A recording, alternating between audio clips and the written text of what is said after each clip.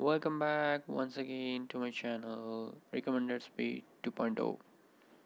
Today's our topic is acute intussusception. It's just the continuation of the previous topic which is strangulation of intestines. So this would be a very quick. So this occurs, this acute intussusception. This occurs when one portion of the intestine invaginates, uh, is turned inside out into an immediately adjacent segment. A condition is encountered. This condition is encountered most commonly in children with a peak incidence between 5 and 10 months of age. In adults, there is always a case for intussusceptions, secondary intussusception.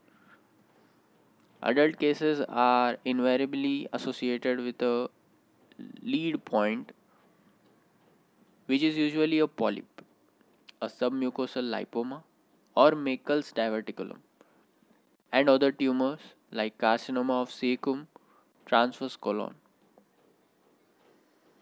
Pathology of this intussusception and intussusception is composed of parts. Intussusceptum, the inner tube proximal bowel which enters the distal segment. The returning or middle tube the intussuscipiens, the sheath or outer tube distal bowel which receives the intestine. Apex is the part that advances further into the uh, distal bowel. The mass is the intussusceptions. Neck, uh, it is the junction of the entering layer with the mass and is the narrowest portion of the intussusception you can see into intussuscipiens and intussusceptum which is going inside. Uh, apex and inner tubes will have compromised blood supply which leads to ischemia and gangrene. Ischemia causes logging off of mucosa bleeding due to mucosal uh, ulcers formation Blood mixes with the mucus to produce the classic red currant jelly that is passed per anum. Gangrene which sets in leads to perforation and peritonitis. Intussusception may be anatomically defined according to the site and extent of invagination. It can be ileoileal, it can be ileocolic, it can be ileo ileocolic, or it can be colocolic. In the diagram you can see the currant jelly. So here it is the ileocolic intussusception in the patient with right-sided colon cancer.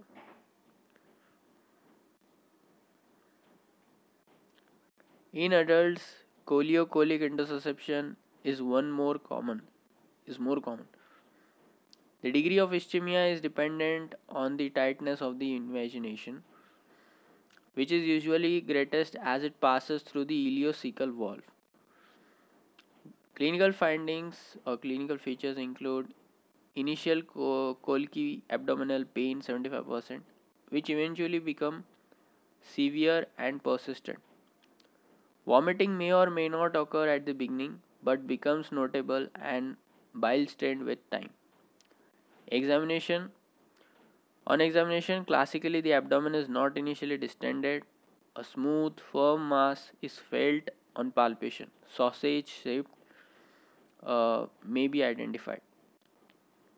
The sign of Dance. Feeling of emptiness in the right iliac fossa can be uh, felt by the patient. Unrelieved progressive dehydration and abdominal distension from so small bowel obstruction will occur, followed by peritonitis secondary to gangrene.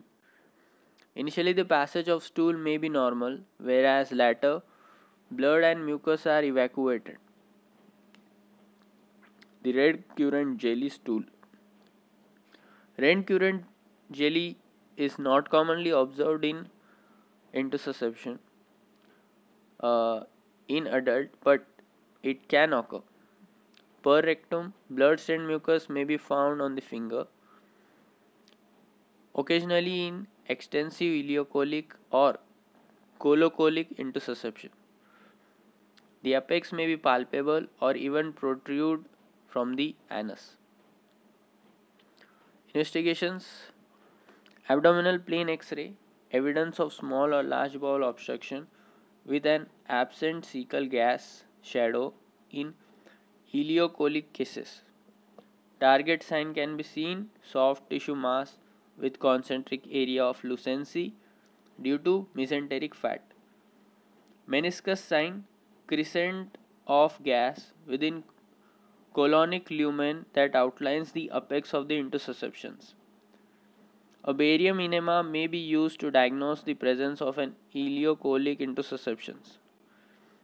The claw sign, rounded apex of intussusception, protrudes into the contrast column. Coiled spring sign, pincer end, edematous mucosal folds of returning limb of intussusceptions outlined by contrast medium. If there is any suspicion, uh, suspicion of gangrene, this method should not be done. Ultrasonography, you can see target sign or pseudo kidney sign or bull's eye sign, which is diagnostic. This is the ultrasonography. Uh, pseudo kidney sign or the bull's eye sign can be seen. On Doppler method, mass with donut sign and is useful for checking the blood supply of bowel. CT scan CT scanning is currently considered the most sensitive radiological method to confirm intussusception with a reported diagnostic accuracy of about 58 to 100 percent. A target or sausage uh, shaped soft uh, tissue mass with a layering effect mesenteric vessels within the bowel lumen. It is worth noting that rarely intussusception has been noted on CT scanning is asymptomatic in adults. Treatment laparotomy is done under general anesthesia. The apex of an intussusception usually lies in the ascending or transverse colon and consists of an area of abnormal ileum. Operative reduction of an intussusception is by repetitive gentle squeezing of the bowel just distal to the apex, which moves progressively more proximal as the intussusception is reduced. Reduction by traction is liable to cause damage. After a successful reduction, viability of the bowel is checked carefully.